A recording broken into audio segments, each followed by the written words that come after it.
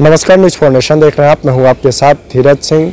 Rajad supreme और बिहार के पूर्व मुख्यमंत्री लालू प्रसाद यादव अभी अभी दिल्ली से पटना के लिए रवाना हुए हैं। विजुअल के माध्यम से देख सकते हैं कि लालू प्रसाद यादव अपनी बड़ी बेटी मिसा भारती के सरकारी आवास से एयरपोर्ट के लिए रवाना हुए हैं, जहाँ पर उप मुख्यमंत्री तेजस्वी यादव के साथ वो पटना के लिए रवाना होंगे। बता दें कि दिसंबर महीने में ही लालू प्रसाद यादव का सिंगापुर में किडनी ट्रांसप्लांट हुआ था जिसके बाद से, से वो फरवरी महीने में भारत वापस आए थे।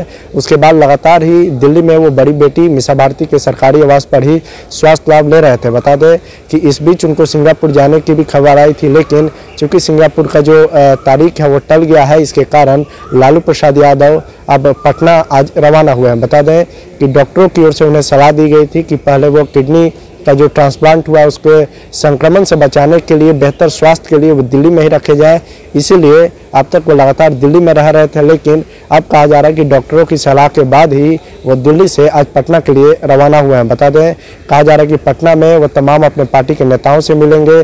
तमाम जो उनके चाहने वाले लोग हैं, जो उनके पार्टी के और खासकर जो तमाम राजनीतिक दल हैं, वो तमाम लोग लालू प्रसाद यादव जो है पटना में जाकर उनसे राजनीतिक गतिविधि बढ़ाएँगे। बता दें कि पिछले दिनों नीतीश कुमार जब दिल्ली दौरे पर आए थे, उस दौरान भी लालू प्रसाद यादव से मिलने के लिए दिल्ली में मिसा भारती की सरकारी आवास पर पहुँचे थे। इसके अलावा कई जो बड़े नेता हैं, उनकी लगातार मुलाकात का दौर जो है जारी रहा था। कल खुद उत्तर प्रदेश के पूर्व मुख्यमंत्री और समाजवादी पार्टी के राष्ट्रीय अध्यक्ष अखिलेश यादव भी उनसे मुलाकात करने के लिए पहुँचे थे।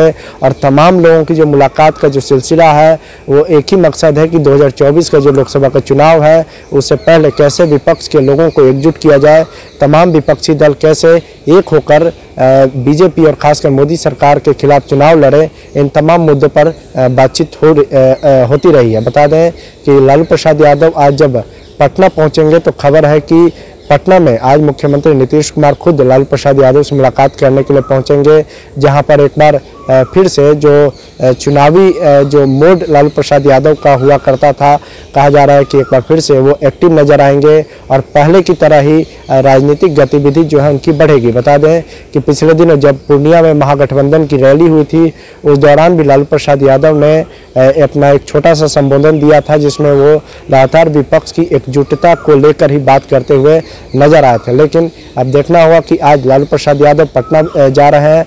पटना में 2024 के पहले जो लोकसभा का चुनाव होना है, उससे पहले विपक्ष की एकजुटता को लेकर वो आगे क्या मुहिम चलाएँगे और क्या कार्रवाई उस पर करेंगे। दिल्ली से न्यूज़ के लिए मैं धीरज सिंह।